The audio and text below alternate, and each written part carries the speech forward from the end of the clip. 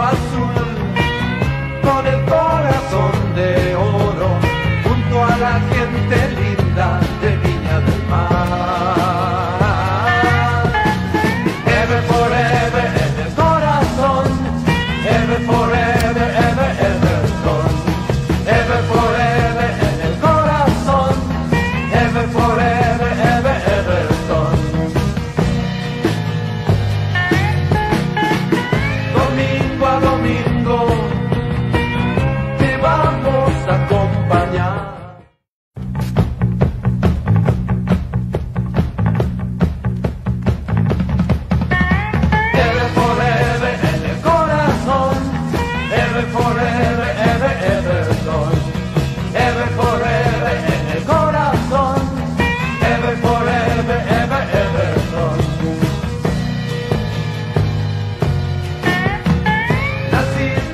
Naciste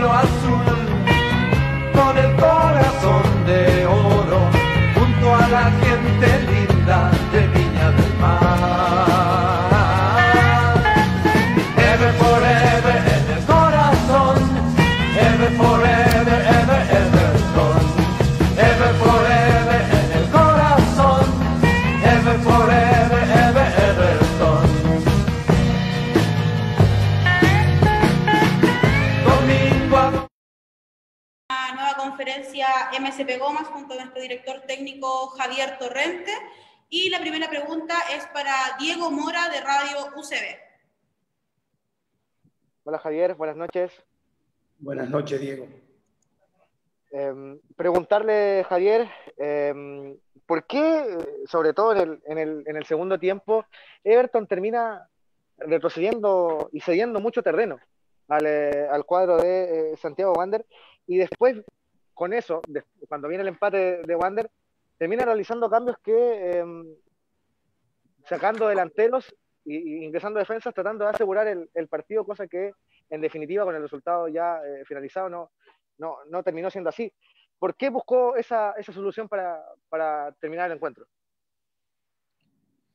Eh, la diferencia de que ellos jugaron hace nueve días su último partido y nosotros hace tres, eh, producto del desorden en, la NFP, donde cualquiera eh, anula o no juega los partidos correspondientes en su tiempo y forma, eh, termina repercutiendo en un segundo tiempo donde ellos tenían mucha energía a disposición para jugar el segundo tiempo y donde nosotros, como jugamos hace tres días, nos fuimos quedando poco a poco y no lográbamos sostener el ritmo del partido.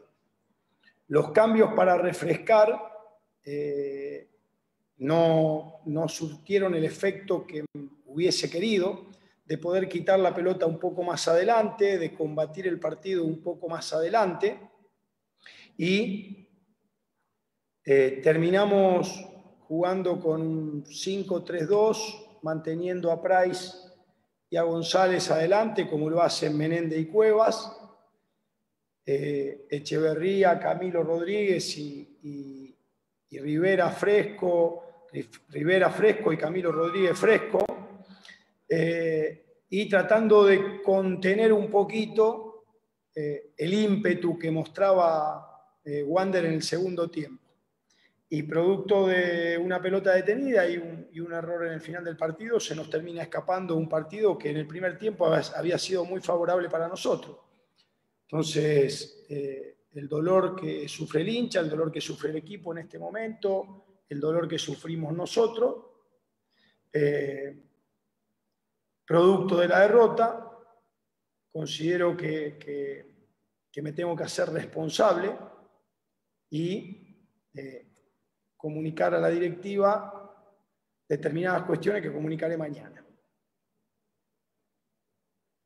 Javier, ¿cómo, cómo se sale de un, de un momento así donde ter, terminan ganando un buen partido frente a Curicó, pierden contra, contra Wander en el, clásico, contra el clásico rival y además empiezan a ganar los, los equipos de abajo, gana La Serena, eh, gana Wander de hecho y también eh, la, la, tabla, sobre todo en la, zona de, de, descenso, se empieza a apretar y los objetivos que, que, estaban planteados en un principio, que era la Copa Internacional, se empiezan a, alejar. ¿Cómo, ¿Cómo se sale de un momento así? Ganando, ganando el próximo partido, que no es fácil, ganando el siguiente, que tampoco es fácil. Tenemos dos partidos de local para tratar de recuperarnos, pero bueno, en este caso vamos a jugar con una acumulación de, dos partidos cada tres días y Española jugó el sábado, nosotros jugamos el domingo, vuelve a haber diferencia en la recuperación con respecto al partido del día miércoles y, con, ese, con esa diferencia de que cualquiera, ahora se suspendieron esta, este fin de semana tres partidos, eh, a partir de que Colo Colo hizo lo que se le dio la gana en ese regreso de la Copa Internacional y no fue a jugar el partido que debería jugar, todos los equipos empezaron a hacer lo que se le da la gana en el tema de la suspensión de partido. Y, y eso me incomoda, me molesta, porque ahí es donde surge, surge esto de que algunos equipos juegan y otros equipos vienen fresco, ¿no?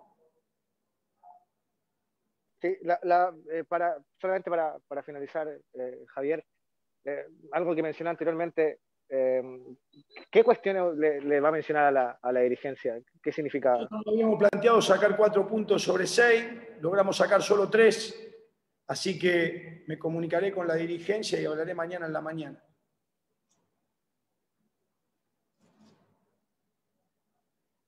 Gracias, Javier. Muchas gracias. Gracias, Diego. Y la última pregunta de los medios de comunicación es para Francisco Meneses del Mercurio de Valparaíso. Eh, profesor, buenas noches. ¿Qué tal, Francisco?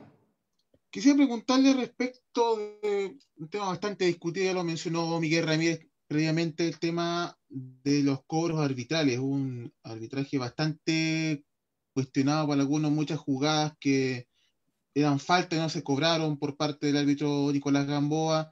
¿Qué opinión le merece el arbitraje visto en este clásico bastante, digamos, tenso, podría decir en algún momento? Parece que dejó jugar, pero dejó jugar para ambos equipos.